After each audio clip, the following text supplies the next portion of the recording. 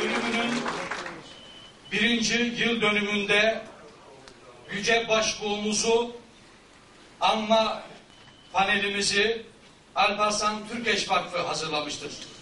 Vakıf adına panelimize hoş geldin diyor. Hepinize vakıf adına saygılar sunuyorum.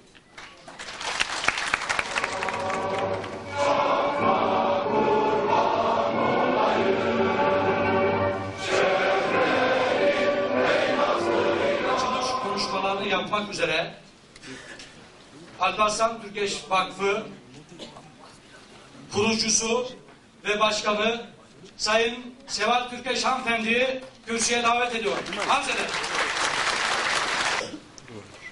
Değerli konuklar, basınımızın değerli mensupları, Türk milliyetçiliğinin mümtaz siması merhum Alparslan Türkeş'i anmak için tertiplenen bu toplantıya hoş geldiniz, kıymetli huzurlarınızla şeref verdiniz. Siz Türkeş dostlarını saygıyla selamlıyorum.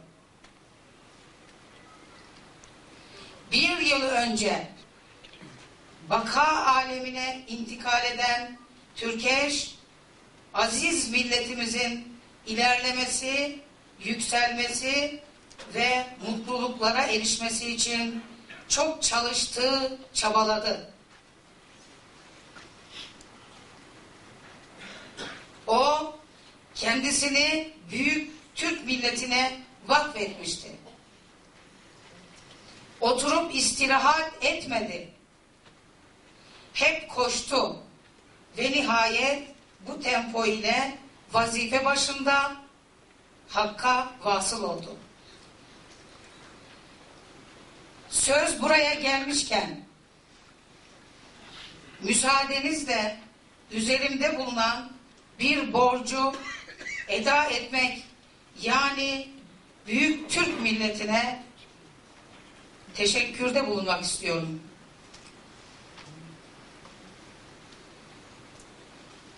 Bildiğiniz gibi bir sene evvel Türkeş'in aziz naaşını toprağa verdiğimiz gün ilkbahar olmasına rağmen çok ağır kış şartları hüküm sürüyordu. Hiç kimse yerinden kıpırdayacak halde değildi. Buna rağmen Kocatepe'den Atatürk Orman Çiftliği'ne kadar yüz binlerce insan her bir kısmı yurt dışından bir kısmı yurdun dört bir yanından koşup Ankara'ya gelerek Türkeş'e olan son vazifelerini yapmak arzusu ile caddeleri doldurmuştu.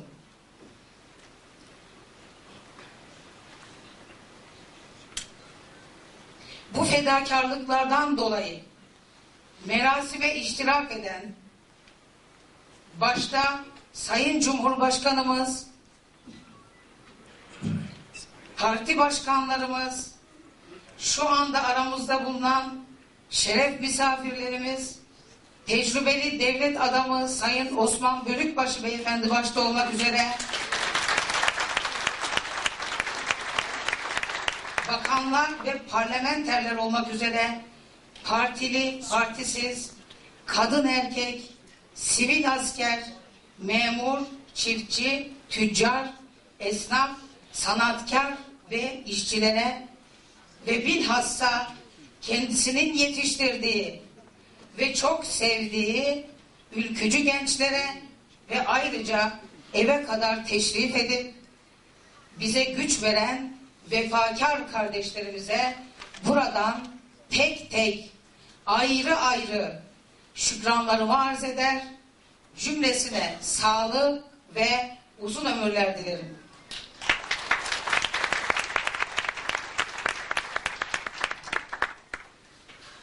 Kıymetli konuklar, tarihin bağrından akıp gelen Türk milliyetçiliğini dernekçilikten kurtararak iktidar yapmak için ilk defa onu aktif siyaset alanına taşıyan Türkeş, sadece bir parti kurucusu ve kudretli bir lider değildi. Merhum eşim aslında okuyan, yazan, mütefekkir bir gönül adamıydı. Milletine ve insanlara olan sevgisine bir sınır yoktu. Gerçekten de Başbuğ Türkeş, Alp Erenler'in sonuncularından biriydi.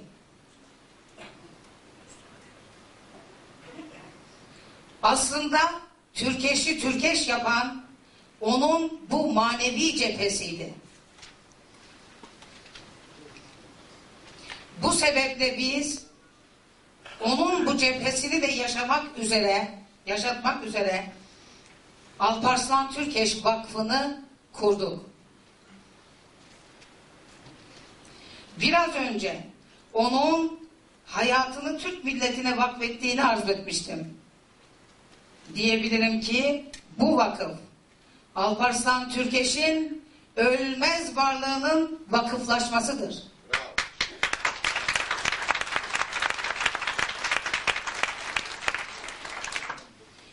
Bir hadisi şerife göre amel defteri kapanan insanoğlunun defterine ölümden sonra üç şey hayır olarak yazılmaya devam edermiş.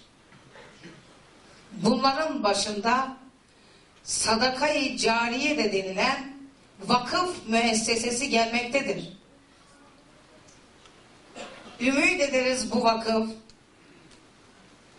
bir taraftan onun aramızdayken yaptığı hayır ve hasenatın devamını sağlar. Diğer taraftan da yine onun isminin yüce şahsiyetinin ve ruhaniyetinin ebediyen yaşamasına vesile olur.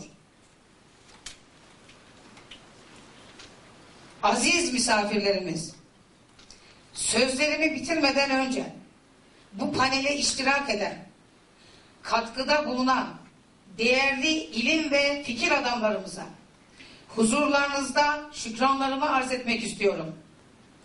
Bu dostlarımız sevgili Alparslan Türkeş'in düşüncelerini, hedeflerini, yaptıklarını hulasa çeşitli yönlerini ve değerini belirteceklerdir.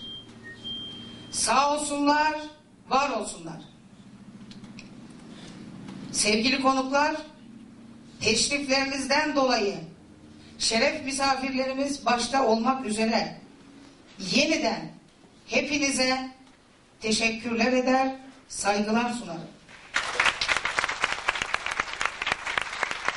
Konuşmalarını yapmak üzere Milliyetçi Hareket Partisi Genel Başkanı Sayın Doktor Devlet Bahçeli Bey'i kürsüye arz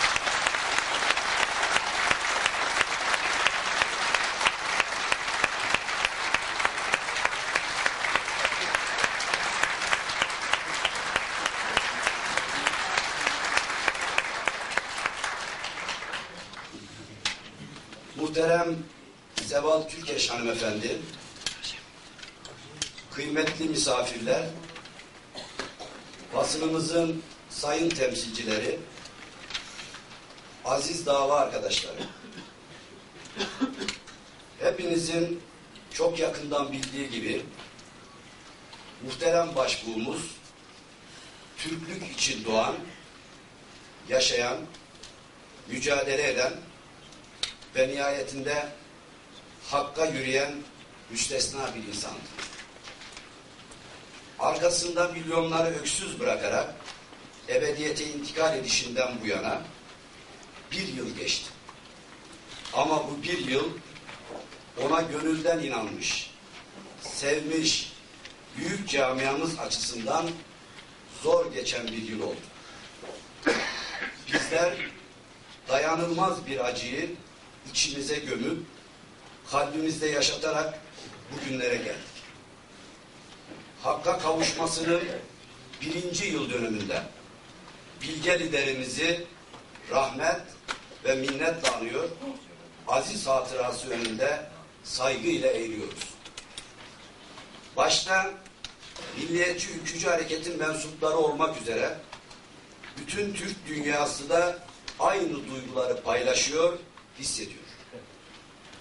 Başbuğlarının manevi evlatları olan Türk milliyetçileri ve ülkücüler yurdumuzun her köşesinde çeşitli etkinlikler düzenleyerek onun yerine getirdiği hizmetleri, uzak görüşlülüğünü bir kez daha ortaya koymak için adeta birbirleriyle yarışıyor.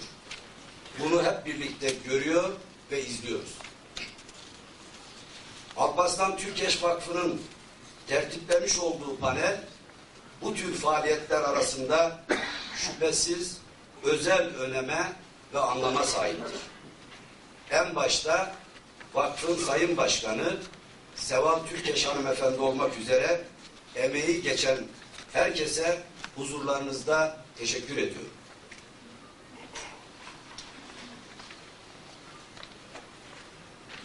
Her geçen gün fikirlerinin ve hizmetlerinin kıymeti daha iyi anlaşılan rahmetli liderimizin yokluğunda onun bıraktığı ülkü bayrağını tertemiz bir şekilde dalgalandırmak, hizmet kevranını aksatmamak bizler açısından çok önem taşıyordu. Bunun için Türk milliyetçilerinin el ele, gönül gönüle vererek çalışmalarına devam etmeleri en büyük teselli kaynağımız olmuştur. Gelecekteki en büyük teselli kaynağımız da onun siyaset üslubunu daim kılmak, milliyetçi hareketi iktidar yaparak ülkülerini hayata geçirmek olacaktır. Zaten Türk milliyetçileri açısından rahmetli başbuğumuzu hayırla yad etmenin en anlamlı yolu budur.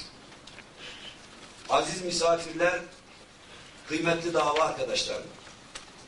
Bugün burada, yarın başka platformlarda örneklerine tarihte ender rastlanan bir büyük fikir ve siyaset adamının Türk dünyasının başbuğunun şahsiyeti, idealleri ve hizmetleri üzerinde yapılacak değerlendirmeler birçok açıdan önem taşımaktadır. Bizler tarafından iyi bilinen vasıflarının ve fikirlerinin milletimiz tarafından da çok iyi bilinmesine ihtiyaç vardır. Türk milletinin ve Türk dünyasının önümüz, önündeki açmazlar ve siyasi hayatımızın içinde bulunduğu bu sorunlar karşısında onun yol göstericiliğini, örnek siyasetçi kişiliğini hatırlamamak mümkün değildir. Merhum liderimiz Türk milletinin refah ve mutluluğunu, ülkesinin milli çıkarlarını her şeyin üzerinde gören ve bunu kendine düstur edinen bir liderdi. Çünkü o büyük bir vatansever, gerçek bir milliyetçiydi. müthiş müthiş bir enerjiye, açık sözlülük ve mertlik gibi önemli vasıflara sahipti. Yine temelde ilkeli ve kararlı tutumunu uzlaşma ve hoşgörüyle metseden bir siyaset ustasıydı. Onun uzağa gören geniş ufuklu siyaset perspektifi herkese ilham kaynağı olacak bir zenginliği ve derinliği ifade ediyordu. Çünkü o tüm siyasi hayatında daima akil adam olarak var olmuş ve bu çerçevede ülke insanlarına ve aydınlarına yol, yol göstermiş, özgüven aşılamıştır. Türk dünyasının bırakınız önemini ve büyüklüğünü varlığından bile kimsenin haberdar olmadığı zamanlarda bizlerin dikkatini çeken o olmuştur.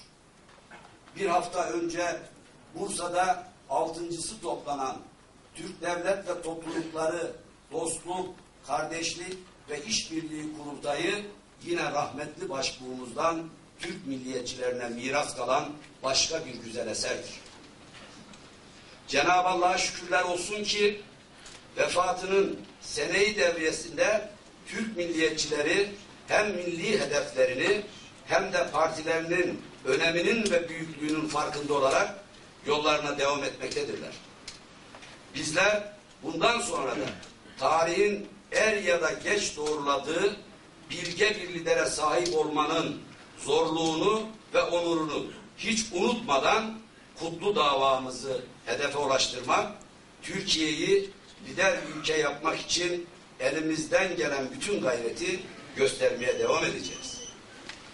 Bu tarihi görev ve sorumluluğumuz aynı zamanda Türkiye'nin birliğinden ve dirliğinden yana bütün ülke insanlarına ve Türk dünyasına karşı en temel manevi borcumuzu ifade, ifade eden bir görevdir. İşte Türk milliyetçileri öncelikle bu manevi borçlarını ödemekle mükelleftirler.